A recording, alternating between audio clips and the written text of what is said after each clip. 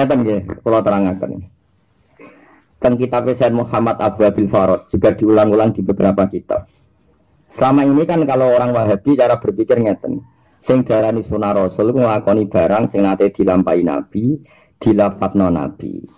Sehingga kalau ada doa atau apa saja yang tidak pernah dilafatkan Nabi, terus koyok-koyok oh, udah gebit, ah, ya jago kenapa? Ini cara Said Muhammad itu bohong besar. Beberapa sahabat itu punya inisiasi wiridan yang Nabi bahkan nggak tahu. Saya ulang lagi. Kan orang sering mendefinisikan bid'ah adalah Bid'ah itu melakukan sesuatu yang nggak ada padanannya atau nggak ada anjurannya dari kanjeng Nabi Muhammad Shallallahu Alaihi Wasallam. Itu bohong besar. Bohongnya adalah begini dari Muhammad. Nabi itu sering ekror, meng-ACC, mengiyakan sesuatu yang dilakukan sahabat yang bahkan Nabi tidak pernah mengajar, mengajarkan.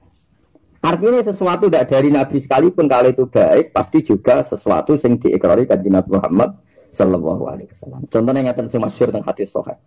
Nabi ini nabar sholat nak nak napa nih? Iktidal, napa?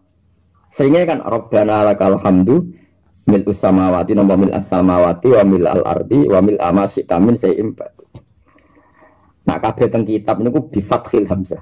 Sajane kabeh sanad iku mil amajan. Tapi kiai Jawa kadung maca napa? milu. Jadi kita rasa sombong ganti mil a. Sama nak ngaji tentang Bukhari, tentang itu mesti fathah. Sama dulu tentang kitab-kitab. Robbana lakal hamdu mil as-samawati. Mereka dados hal. Jadi Robbana lakai kagungane panjenengan alhamdulillah te puji. Mil as-samawati hale pujian sing ngebai langit. Lagi Jawa niku roh murid itu sama kok kangelan ana tertib hal wis bulet kabeh wis iku dadekno sifat lakai gede panjenengan alhamdulillah puji sing puji mil us mereka umumnya milu ora. Milu, trennya milu. Nek sape ana. Tapi nak tenggene wae-wae nopo? Milah.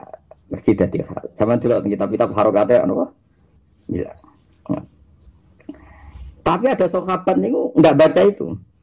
Kira-kira ya cara sekarang tiga soft dari Nabi. Allahumma rabbana lakal hamdu hamdan kasiran tayyiban mubarakan fi. Lakal hamdu hamdan kasiran tayyiban mubarakan fi. Ya sudah seperti itu. Setelah sholat, Nabi itu berdiri. Ayu kumul koel. Siapa tadi yang melafatkan itu? tuh Diam semua. Mereka yang Nabi duka. Ngomong tapi. Wah, perkara ini. Wiridan kreatif. Kasus ya. Kena sweeping ini. Mereka wiridan apa? Kreatif. Mulai diajar. Ngomong kabeh. Terutama saya ngomong. Semua nih.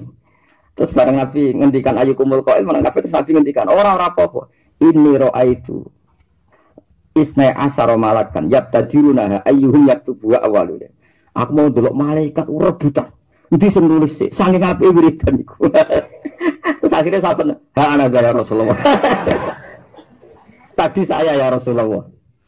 Ini Dawei Muhammad, fahadal qail. Lam yasbik min Rasulillah at-ta'lim. Ini jelas Nabi tidak mendahului mengajarkan dia. Bahkan Nabi kaget kenapa ada wiridan seperti itu. Tapi nyatanya malaikat juga seneng kan Nabi.